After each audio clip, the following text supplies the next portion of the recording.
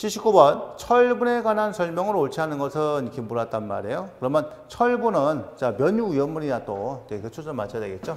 자 철분 면유 제 2류 위험물이죠.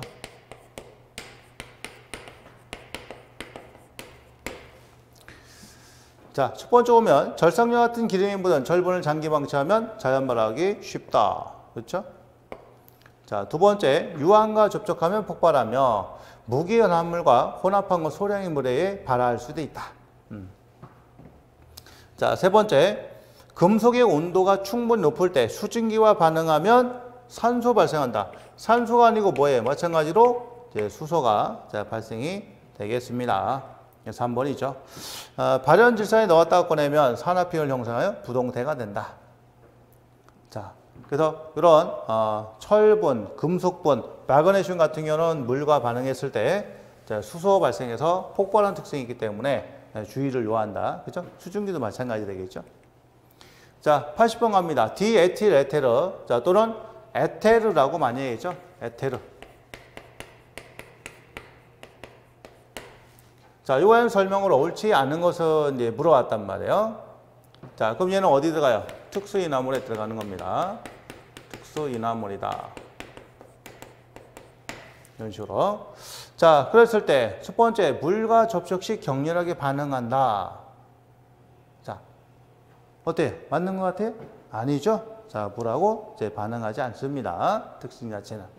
그러니까, 어, 대다수가 이제 이게 이제 비수용성인데 어떤 이제 일부 교재에서는 약간은 녹는다. 약간 녹는다는 얘기는 어떻게 보면 잘 안 녹는다 이렇게 볼 수 있는 거죠. 두 번째, B점, 인하점, 발화점이 매우 낮고 연소 범위가 넓다 이렇게 되어 있어요. 자, 그 다음에 세 번째, 연소 범위의 하한치가 낮아서 약간의 증기가 늦출래도 폭발을 일으킨다. 맞죠? 증기압이 높아 저장 용기가 가열되면 변형이나 파손되기 쉽다. 이렇게 되어 있습니다. 답은 1번이 되죠. 자, 81번. 제3류 오염물이 아닌 것은 이제 물어왔어요. 3류 오염물이 아닌 거. 자, 황린 3류죠. 그 다음에 탄화칼슘 3류, 알킬리튬, 알킬알뮴 3류. 중크론산 염류는 아, 요거는 중크론산 염류에 해당이 되는 거니까 아, 바로 연료, 제 인류 위험물이 됩니다. 2번이 되죠. 이런 것처럼 위험물의 종류만 우리 이제 구분해줘도 맞출 수 있는 문제가 상당수가 많이 있죠.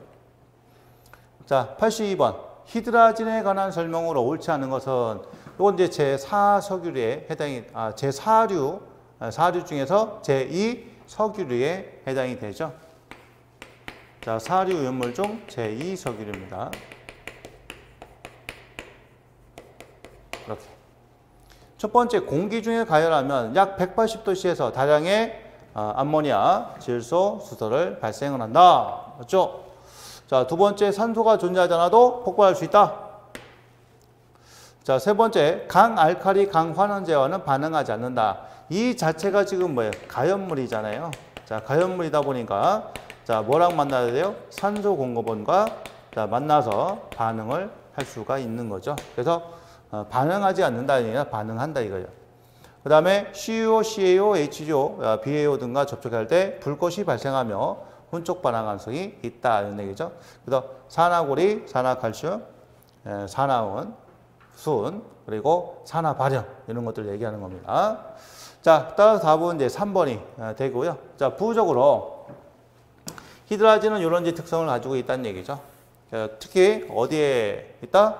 녹캔 연료 사용되는 액체 화합물이다 이런 얘기죠. 그러니까 산소가 없어도 폭발이 가능하기 때문에 녹캔 연료로 쓸 수가 있다는 얘기입니다.